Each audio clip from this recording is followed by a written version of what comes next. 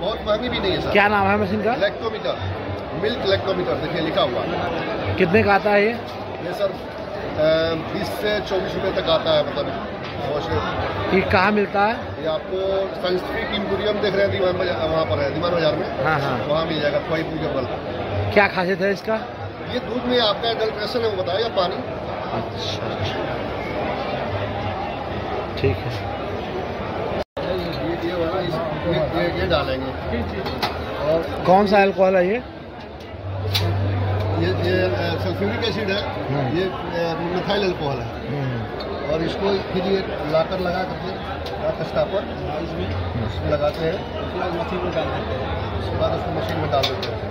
वो मशीन घुमाएगा। स्टापर है लाकर स्टापर है।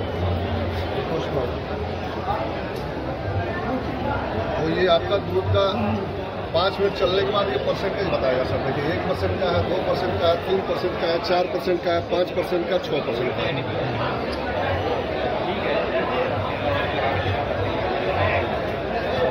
है घी का मात्रा कितना है? हाँ। दूध में दो चीज़ होता है घी वसा और चिकनाई। उस- इससे आपको दूध की फैट और इसमें इसमें फैट होता है यहाँ का टोल में तीन परसेंट का होता है और स्टैंडर्ड में साढ़े चार परसेंट का होता है। दूध कितने तरह होते हैं? हैं? दूध कितने तरह का होता है? तीन तरह के। एक विदाउट फैट होता है जैसे मरीजों को या छोटे बच्चों को दिया जाता है मेडिकल कॉलेज में मतलब जैसे जो डायबिटीज़ और हार्ट के पेशेंट होते हैं उनको आपूर्ति करते हैं वो उसमें फैट होता ही नहीं है। सिर्फ़ उसको सेपरेटा मिल्क हैं स्किम मिल्क कैसे मालूम होगा दूध आपको पीने लायक है या कैसे आप मालूम करेंगे पीने लायक नहीं है? फैट टेस्ट में फिर दो हो गया। हाँ। तीसरा सबसे बड़ा दूध का टेस्ट होता है चखने से। हाँ। आप दूध चखते हैं हाँ। उससे मालूम होगा कि आपका दूध में कुछ एडल्ट्रेशन है कि नहीं तो है कैसा स्वाद आएगा? अगर सही रहेगा तो कैसा स्वाद आएगा? स्वाद आना चाहिए। हाँ।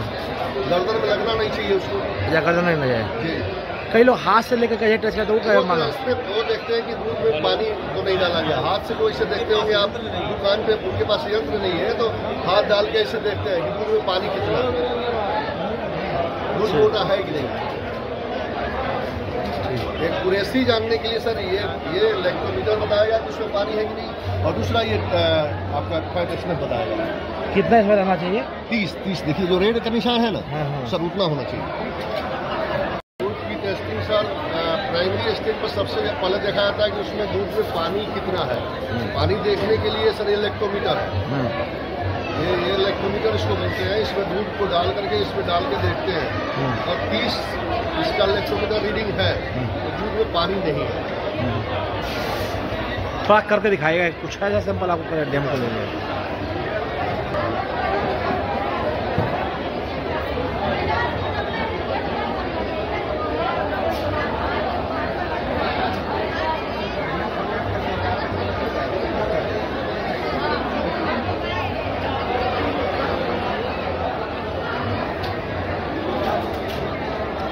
ये देखिए जो रेट का निशान है ना सर तीस पर।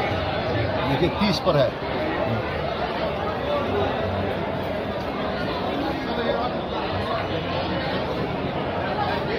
इलेक्ट्रोमीटर इसको बोलते हैं कि इसकी इसमें दूध की पानी की मात्रा क्या है? अगर तीस तक है जैसे वो रेड जो लेवल है उसमें पानी नहीं है। कभी आपके सामने मैंने पैकेट खोल के आपको दिखाया है। इसमें ये स्थिति है। फिर इसके बाद इसका फैट टेस्ट करते हैं सर